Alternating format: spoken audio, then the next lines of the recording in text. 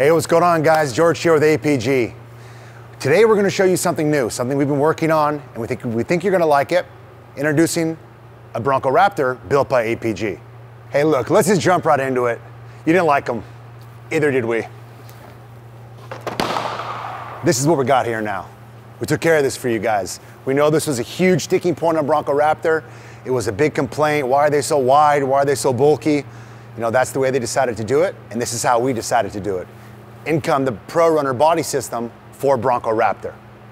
All right, now, what is it? How did we do it? How did we get to this point? Let's start at the corner like we always do and let's start talking about the components. Right now, you're looking at the standard APG Bronco Pro Runner body system outfitted on a Bronco Raptor. Now, you ask, what is it gonna take to get it done? Overall, the same build of materials, same amount of parts, just a little bit of a freshened up look which you guys all love so much. So as we go through this build, we're gonna jump back and forth, but the vehicle is highly accessorized on top of the body system and some great performance and some suspension upgrades. So again, back to the corner of the vehicle, you've got the all carbon APG wide body fender outfitted with our one inch flare, which has the front tire sit absolutely flush in the one o'clock position. You're gonna notice that this is a completely stock Bronco Raptor wheel and tire, which is you know the 37 inch tall, which has got a you know it's, it's got a pretty large backspace so that tire sits in like a, just as the factory intended. Now if you had an aftermarket wheel, your wheel and tire combination will sit out a little bit past this one inch flare, and that's when our three inch flare is gonna come in perfect if you wanted that flush look. Now there are so many accessories on this Bronco. I'm just gonna start at the top. I'm gonna work my way down so we can cover everything. Starting at the top, we've got the linkable light bar sitting on top of the windshield. That's got the, the spot combos in the middle with some floods on the outside to get you that wide range of light. You've got some XL Pros sitting on the ditch at the lower corner of the windshields. Now look at the hood vent. This is a Ford factory hood. We've refinished in a J7 magnetic gray, refinished in a satin clear coat. That's gonna match a lot of the other trims on the Bronco, including the grille and some color matching we did onto the lower bumper trim. This is a Ford factory original Bronco Raptor grille and headlights. It's got the linkable light bar built into the top of the HD modular bumper. We've got some special painted tow hooks just to kind of accent the vehicle paint.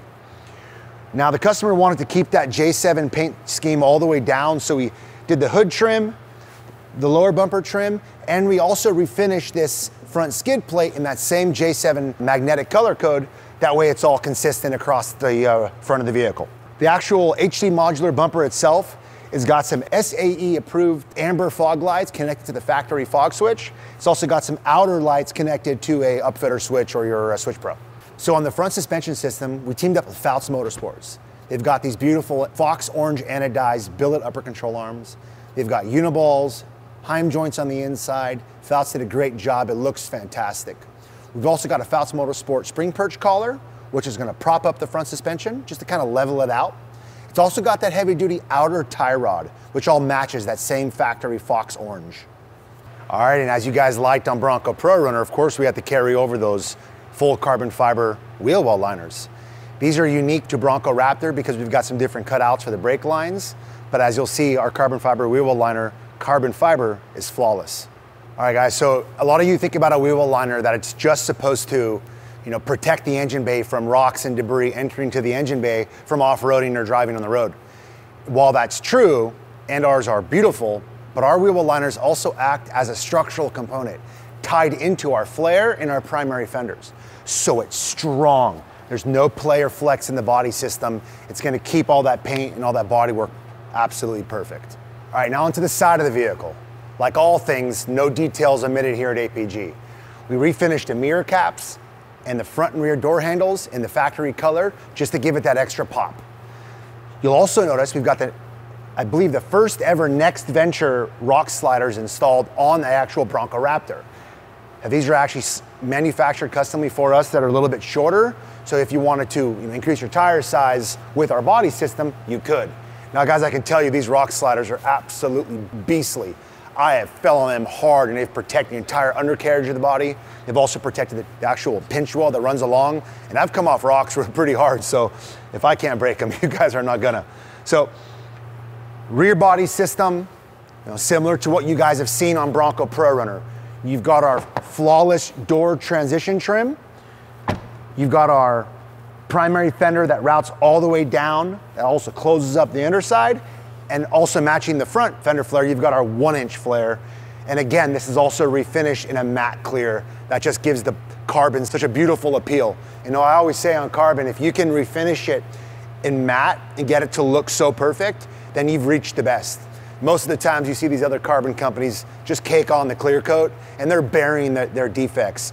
But when you get close into APG's carbon, it's flawless. It's of the quality of supercar manufacturers. And that's what we deliver on all of our vehicles here. As you guys know, Bronco Raptor's got a different rear tail light. It's got some weird geometry in there and it's got that cutout. So we naturally had to make some sort of a bracket or a cover panel so we can cover it just the way that Ford intended. Now, just like anything else at APG, we we're not gonna cut a corner. So we made it out of matching carbon fiber, also refinished in matte clear. The really interesting part about this rear panel is it mimics some of the geometry in the rear tail light, so it doesn't really seem out of place. It fits and flows like the remainder of the body system. All right, so rear suspension. All that's really going on back here are these Fouts Motorsports trailing arms. They're made out of all billet material. They've got uniballs and wobble stoppers. We've got them on the uppers and the lowers. You can't see the uppers, but look how good those lowers look, you know, shining through, also matching in that fox orange. All right, now we're gonna talk about the rear of the vehicle. You're gonna notice we have our same Expedition 1 APG Collab rear bumper system, but it does not have the swing away tire gate. Now, the reason we don't have a tire system on that is because it's a factory wheel and tire combination, meaning that the Ford Bronco Raptor is capable of supporting that factory weight. So we naturally just remounted it to the same system. But if you look pointing through that spare tire mount, you'll notice this incredible system that our friends over at AGS developed. Behind that wheel is a twin piston ARB compressor, tucked neatly, nicely. You can't see that it's there, and I believe that's where we really want the big bulky accessories on our off-road vehicles. It's got a quick connect chuck sitting right there, fully capable. It's got the backup camera, all the reverse proximity sensors, factory tow package, the electrical. It's just fully integrated. Now, you'll notice in the rear bumper, we've also got those diffuse squadron sport lights. You know, we use that as like a reverse light to help see if you're you know, backing up at dark trails at night or setting up camp or unloading cargo or really whatever you can use those lights for. You've also seen this on basically a lot of our Pro Runner builds, even the Mid Runner that we released, but also on Bronco Raptor, we incorporated the same rear winch setup. It's got the cutout on the X1 rear bumper system. It's got a factor 55 fairlead. Uh, we haven't put in the uh, ProLink E yet, but that's gonna go in soon. It's got the same step plate that's built out of stainless. Now, as you've seen in the past, the winch is hidden, you can't see it. Fully functional, it's got a built-in skid plate under the bottom. You can bang it up on rocks, you're not gonna hurt it. And now another great benefit of our rear winch plate system is how it ties together the rearward most cross member and, and the frame. It stiffens up the whole rear end of the vehicle, and that's the theme on Bronco Raptor. So we're super proud about that. All right, so now we've got the tailgate popped, the back hatch open, and you're looking inside the car and looks completely original, right? Doesn't no accessories, nothing stands out. That could not be further from the truth. There is so many electronics on board this thing, I cannot wait to dive into these details. What we didn't want to do is sacrifice cargo capacity. With all these modern cars with their CAN bus systems, you turn the audio on, your, your stereo system's going to shut off after a few minutes, and you don't want to idle it. You don't want to kill your primary battery, so that's always a bit of a challenge. And I know there's a bunch of dual battery setups out there, but you haven't seen a dual battery setup like this. Inside of this winch plate is a custom fabricated housed 200 amp hour LiPo 4 battery made by Dakota Lithium. That puts off so much power as a deep cycle battery that you can bump the stereo system. You can have your coolers, you can run your accessories, your lights for days. But check this out. You, you're parked on a trailer, a camping site, or wherever you are, and you want to listen to music. Look how easy this is. You touch a button. You didn't know the button was even there from the camera angle. You touch this button, and you've activated the entire audio system. As you just heard in that beep, you just activated Bluetooth and it just connected to my phone. Now, it's Bluetooth capable, meaning you can walk away from the car and sit at your campfire or do whatever you want to do, but it's all automatic. This button is going to override the instrumentation on the dashboard. It's a whole independent, isolated system powered by this massive 200 amp hour battery. You push a button, you play your music. I know you like that song. I had to. We're gonna pause that song for you guys. Now, as soon as, let's say you were playing music from the secondary audio system, as soon as you sit inside the driver's seat, you turn the engine on, it's gonna move that function directly over to this factory head unit. You don't have to do anything. So now in order to power this mega audio system, you need an electrical system. Now, that system needs to have several functions. Your primary crank alternator and battery needs to be able to charge that LiPo4 lithium battery and you know not piss off your smart alternator.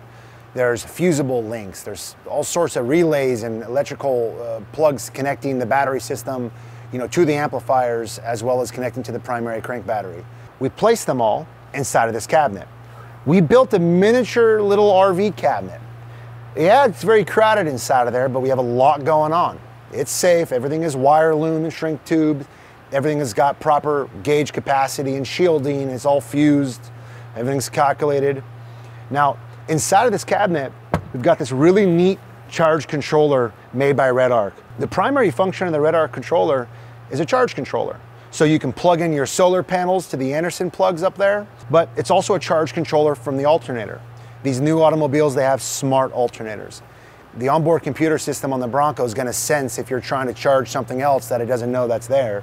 So that's gonna measure the variable output of the, of the alternator and only absorb more juice than it needs. You're gonna have a neat little um, gauge right there that's gonna show you your primary and auxiliary battery voltage. And that's also gonna it's gonna do a couple of things. It's also gonna uh, not just display the voltage, but it's gonna trigger your Switch Pro and let you know that you're back here and you're using some of the functions. Now you'll notice another switch over here to the right.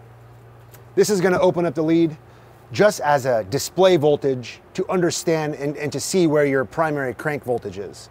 This RedArc controller has a really cool function that let's say you happen to somehow suck your primary crank battery too low, you hit a momentary switch on your app or the panel up front, it's gonna merge both batteries together and hopefully give you enough juice to start your car to get you out of where you gotta go or to recharge your battery systems. We decided to place this panel here, one, because it was out of the way, it won't get hit or knocked, but we've also got a 12 volt plug in for your cooler, your fridge, or what an old traditional cigarette lighter style. And then we've also got an intelligent USB connection point, USB 3.0, USB 4.0. It's got these cool little dust covers on there. And as we covered in the RedArc controller, you've got these access to, you know, connect as many solar panels as you want. So we put a pretty sweet 50 amp um, solar input right there. It's got an Anderson connector. You always need light in your cargo areas. You need to see what you're getting, you know, grabbing some stuff out of your bag or, I don't know, looking for a lost Barbie or something. Having extra light on board is something the Bronco really needed because these factory lights are pretty dim. So we installed this Baja Designs dome light switch with a push button. You just kind of reach in, push your dome light button, and now you've got all this extra light to help you see what you're doing. So as you guys know, Bronco Raptor comes with some neat interior upgrades. You know, it's got some carbon fiber handles and some nice accenting trim. You know, Ford refinishes those in a matte clear, and that's why we went with the matte clear exterior, just so it all ties together. And you'll also notice it's got a whole new interior. This vehicle came from the factory with this navy blue pier, you know, dashboard, lower dash, center console, doors, seats.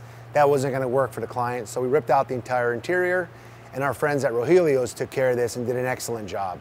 They ripped out all the seat covers, front and rear, all you know, just just elegant stitching. It's nice and tight. There's no ripples or effects.